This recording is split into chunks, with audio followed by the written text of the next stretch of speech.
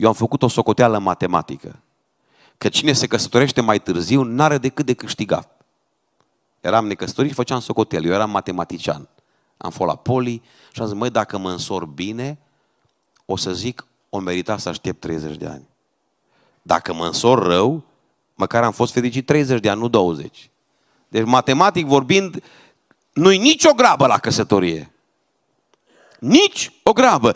Nu concurați între voi care se mărită prima. Și nu fiți nici geloase, nici invidioase. Nu intrați în depresie că aveți 25 și nu v-ați măritat și nu știu care prieten are copii. Căsătoria e maraton. Nu e cursă de viteză.